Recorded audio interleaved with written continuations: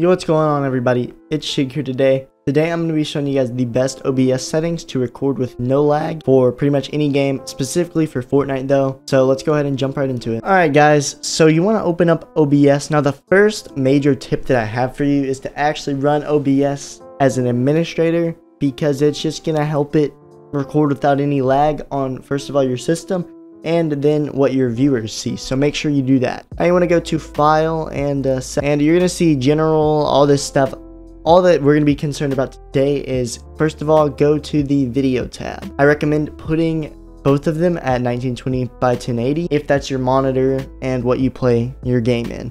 Also make sure FPS is at 60 because nowadays for gaming you're going to want to have it at 60 FPS downscale filter, leave that at bilinear because it, it is the fastest one and we're not downscaling, we're just leaving them both at the same. Now, if you are experiencing lag, so if your PC just sucks, then what I recommend you do is to change your, your output to 1280 by 720 and change this to the best downscale. Audio really doesn't matter too much, just make sure you have your mic selected and I have two audio tracks, but you don't have to have that. It just depends on if you want your mic audio and your desktop audio on a different track so you can edit it better. So that, that's how I like it. Now here is where all of the main stuff happens in the recording tab. You want to make the type on standard and, and then your recording path, you can just change it to wherever you want to save your footage. Choose the amount of audio tracks you want for your encoder.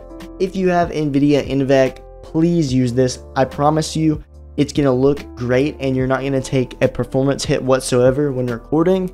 So make sure you use NVENC. If you don't, then either use your AMD one for your AMD graphics card, and then if you still don't, then use your processor H.264 for recording, but it's not going to be as good as NVENC. Uh, don't check rescale output.